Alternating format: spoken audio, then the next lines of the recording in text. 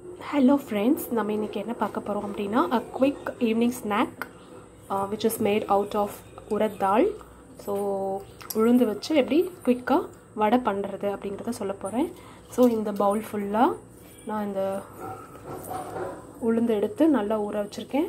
ஒரு half an hour to forty five minutes ஊற வச்சுருக்கேன். ஏன்னா ஸ்மால் குவான்டிட்டிங்கிறதுனால ஸோ இந்த மாதிரி ஊற வச்ச உளுந்து இப்படி நல்லா உப்பி வந்ததுக்கப்புறமா வாட்டர் ஃபில்ட்ரு பண்ணிவிட்டு மிக்சியில் போட்டு நல்லா கிரைண்ட் பண்ணி எடுத்துக்கோங்க. பெப்பர் வேணும்னா இதிலே பெப்பர் போட்டு கிரைண்ட் பண்ணிக்கோங்க.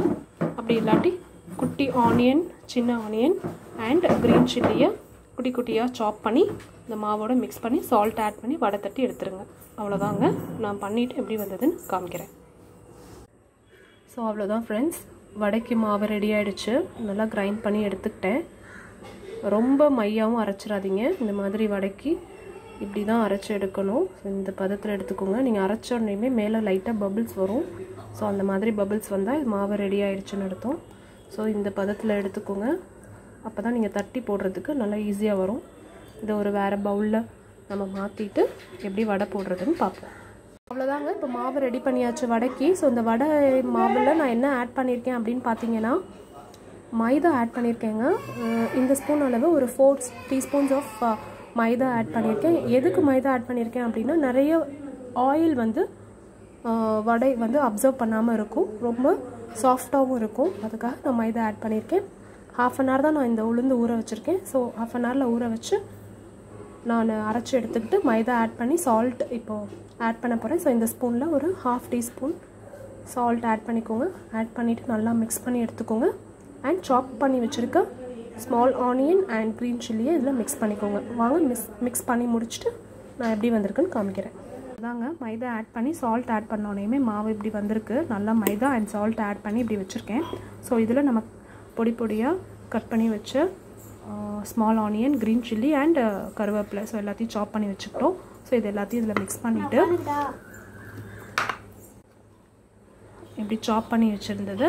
இதில் அப்படியே மாவில் ஆட் பண்ணுங்கள் ஆட் பண்ணி நல்லா மிக்ஸ் பண்ணி விட்டு வடை தட்டி எடுத்துருங்க ஸோ தவா இப்படி ஒரு தவா வச்சுட்டு அதில் ஆயில் நல்லா ஆயில் ஊற்றி வச்சுட்டு ஆயில் நல்லா சூடாகுதான்னு பார்த்துட்டு நான் ஏற்கனவே சொன்ன மாதிரி லைட்டாக மாவு விட்டு பாருங்கள் ஆயில் ஹீட் ஆகிடுச்சான்னு செக் பண்ணுறதுக்கு ஸோ பீஸ் ஆஃப் வடை மாவு எடுத்து இப்படி ஆயிலில் பாருங்கள் இல்லாட்டி தண்ணி கூட நீங்கள் ஆட் பண்ணிக்கலாம். ஸோ இதை விட்டு பார்க்கும்போது அது நல்லா பொறிஞ்சு வந்துருச்சு. ஸோ ஆயில் இப்போ ஹீட் ஆகிடுச்சு இன்னும் ஒரு டூ மினிட்ஸ் இருக்கட்டும். நம்ம வடை தட்டி எடுத்து போட்டுடலாம் ஸோ எப்போ நீங்கள் வடை தட்டினாலும் இந்த மாதிரி ஒரு பவுலில் தண்ணி வச்சுக்கோங்க. தண்ணி வச்சுட்டு உங்கள் கையை நல்லா வெட் பண்ணிக்கோங்க. ஸோ வெட் பண்ணிவிட்டு அதுக்கப்புறமா நீங்கள் கையில் மாவு எடுத்து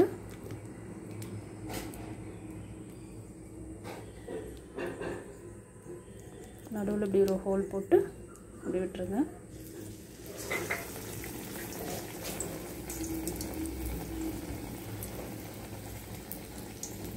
ஸோ இப்படி பண்ணும்போது உங்களுக்கு கையில் ஒட்டாது அண்ட்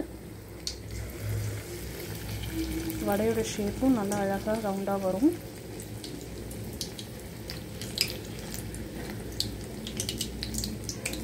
மீடியம் ஃப்ளேமில் வச்சுருங்க. ஆயில் ஹீட் ஆனதுக்கப்புறமா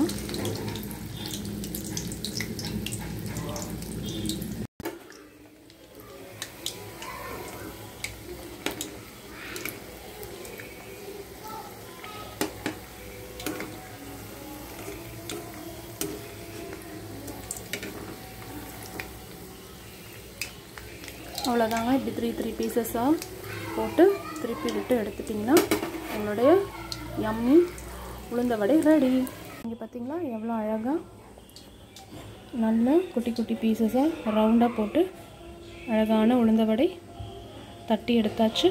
ஆயிலில் ஃப்ரை பண்ணி எடுத்தாச்சு. ஸோ இப்போ சாப்பிட ரெடியாக இருக்குது இதே மாதிரி நீங்களும் ட்ரை பண்ணி பார்த்துட்டு எனக்கு கமெண்ட் பாக்ஸில் கமெண்ட் பண்ணுங்கள் லைக் பண்ணுங்கள் ஷேர் பண்ணுங்கள் மறக்காமல் சப்ஸ்கிரைப் பண்ணுங்கள் தேங்க்ஸ் ஃபார் வாட்சிங் கோகிஸ் kitchen யோகோ channel have a happy weekend a yummy and a delicious uh, tasty vada ready ஆயிடுச்சு with coconut chutney just try it make it by yourself and taste it have a happy weekend thank you thanks for watching cookies kitchen